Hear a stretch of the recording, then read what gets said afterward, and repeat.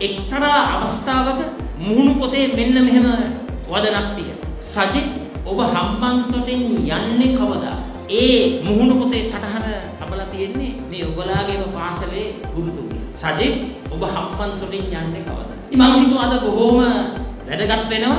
විශේෂයෙන් මේ මුහුණු පොතේ තබපු සටහනට පිළිතුරක් ලබා දීම කාලෝචි. සජිත් ඔබ හම්බන්තොටින් යන්නේ කවදාද කියලා. මේ ජනාධිපති විද්‍යාලයේ ඒ ප්‍රාථමික අංශයේ ගුරුතුමියට මම කියන්න කැමතියි මම කවදා හරි හම්බන්තොටින් යන්නේ ජනාධිපති විද්‍යාලය මේ හම්බන්තොට පමණක් නෙවෙයි මුළු මහත් ශ්‍රී ලංකාවේම කීර්තිමත්ම පාසල බවට පත් කරලයි කියන එක මම මේ අවස්ථාවේ ප්‍රකාශ